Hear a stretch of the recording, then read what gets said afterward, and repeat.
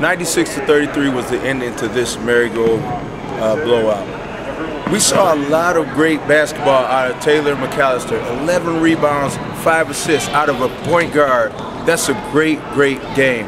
Uh, we will see later on in the season if uh, Autumn Rodemaker can bring this team to a to uh, become better in order to win a championship later in this season.